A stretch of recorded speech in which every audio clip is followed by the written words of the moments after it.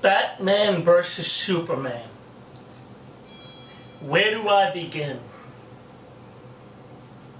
Do I talk about that this movie was so bad that fucking Adolf Hitler, I mean Hans Zimmer, isn't gonna do the fucking composing of music for another superhero movie ever again, that he's retired?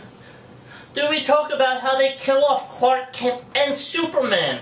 No! Better yet, let's talk about how they kill off Jimmy Olsen in the first 20 minutes of the fucking movie and don't even tell you it's Jimmy motherfucking Olsen! Okay? Batman isn't Batman. Batman goes around with a gun now and fucking shoots people. That whole fucking can don't kill people shit? Nope, out the fucking window. Uh, Lex Luthor, well guess what? Lex Luthor isn't Lex Luthor. Lex Luthor is Lex Luthor Jr. Yeah. Uh-huh. Um, Wonder Woman, her tits weren't big enough. Lynda Carter had a huge set of fucking melons. This gal fucking Gadot chick, yeah, nice set of tits, but they're no Lynda Carter. Wonder Woman needs to have huge tits. That didn't happen. What else? Let's see. Huh. How the fuck does Lex Luthor know that Superman is Clark Kent? Okay? Really? Um, also, somehow Lex has a fucking file on guess who? Yep.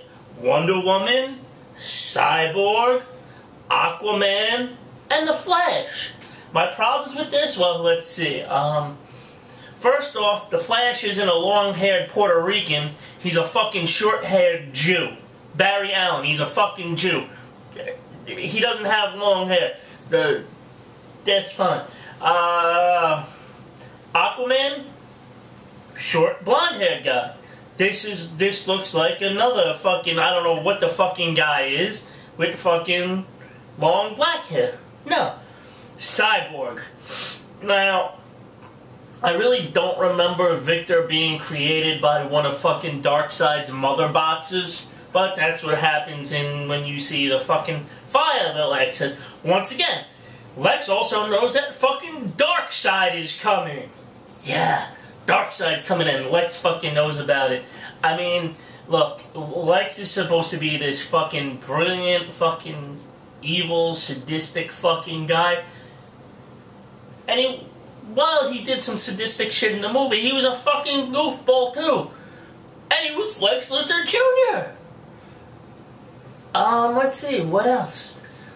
Um, oh yeah, Superman isn't dead, right? You know, they had fucking two funerals for him. They had the Superman funeral, which you don't know what was in the casket. And then you had the, the uh, Clark Kent funeral, which you can assume his body was in that casket because, you know, after Lois goes and drops the fucking dirt on the casket, they pan back later and, and dirt's shaking off the fucking casket, so he ain't dead.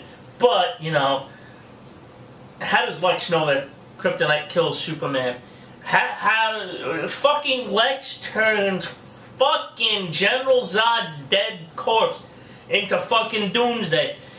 Now in the trailer you don't see the finished version of Doomsday because the US government still hasn't shot it with a fucking nuclear fucking weapon that turns him into the final version of Doomsday with the spikes. Uh, had to see it two times, really, because watching it the first time pissed me the fuck off for the simple fact that they fucking offed Superman. And like I said, you don't even know they kill off Jimmy Olsen unless you know who the fucking actor is that plays him, and you read and read the fucking credits that he was actually in the fucking movie. I mean, the movie was very dark. It, they threw too much shit into it, and it went way too fast. I know you're using this to set up a fucking Justice League movie, but I mean, it, it, like I said, they just threw too much shit into this fucking movie. It was fucking ri- ridiculous. Was it good? It was okay. Would I recommend it? I would recommend waiting for the DVD to come out when you have a half hour of more fucking garbage to watch. That it's a rated R version. God knows what the fuck they're gonna put in it, put in it. But you know, I have an idea of some of the deleted shit that they didn't put in. But you know, like, I said, it's got to do with more fucking Darkseid is coming fucking garbage. But I mean, you know, the, the only thing I really liked is how while Batman is having one of his fucking nightmares, that's when we have Barry Allen running back in time from the future, asking him if he's if he's too late, if he's too soon, that Lois Lane is the key, and it's all got to do with Darkseid coming to set up the fucking part one and part two of the Justice League movies. But I mean, the only good thing I got out of this movie was a fu- I went to the Alamo Drafthouse and I got a nice pint glass and a fucking magazine.